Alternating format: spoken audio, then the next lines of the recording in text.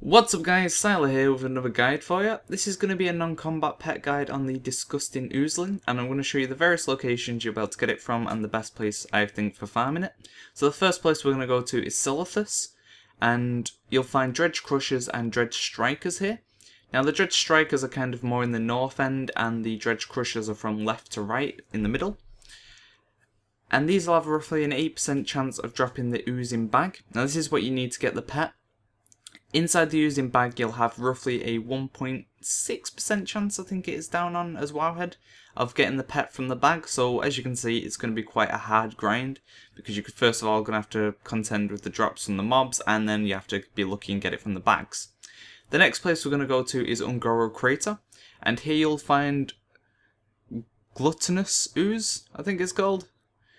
And these have roughly a 8% chance again of dropping it, but the problem with these mobs is they're very scarce, you won't find many of them, and they have quite a bad respawn timer. Now more in the middle of Un'Goro Crater around the big volcano, you'll find Primal Ooze. Now the interesting thing about these is if you don't kill them, you sort of let them DPS them down to around 10%, as you'll see now in a very, very slow grind as it hits me and hits me and hits me again. I had to do this because if I did actually melee it, it would probably just be one shot. I would have had to take off all my gear to be able to do this.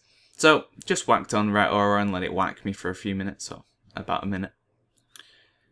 And what you'll notice when it starts to get low, it'll split into two, and it'll clone itself. And you'll have a 7% chance and a 5% chance from getting the bag from 7 for the clone and 5 for the primal.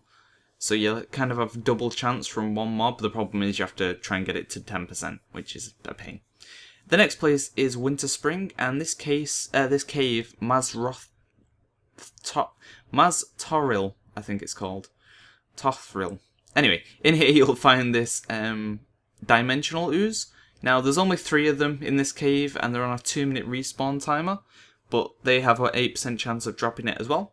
And more in the north, you'll find Starfall Village. There's a little cave to the left of Starfall Village.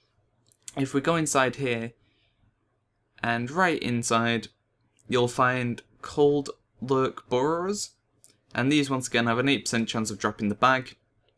But there's not too many of them within the cave, and you have to sort of run through the whole cave to be able to kill them all. As you'll see, you'll have the creepers, which are the spiders, and you'll have the burrows, which are the worms, and these are the ones that will drop the bag. Now, as I said, there is quite a few of them in this cave, but still not enough for me to consider this a good farming spot, to be honest. The final place, and the one that I think is going to be the best for farming, is Swamp of Sorrows, and in the west end you'll find these uh, shifting Mireglobs. Now the good thing about these is they have a higher drop chance of 9%, and there's loads of them. There's literally loads of them around. You literally walk a few steps and you'll find one there shouldn't be a lack of any of them to kill. You should just be able to keep running around and have one to kill in a very short sort of range. As you can see, there's another one. And there's another one. So, yeah, there's a lot of these. So, good luck. As I said, this is more of a luck pet. It's going to be quite hard to get because, first of all, you have to get the bags, and then from the bags, you'll have a very low chance of getting the pet. The good thing about this pet, though, it is BOE, so you will be able to farm them and sell them. And they sell for quite a lot, I think. So good luck, I hope this guide's helped you out. Look out for more guides coming soon. Thanks for watching, guys. Ciao!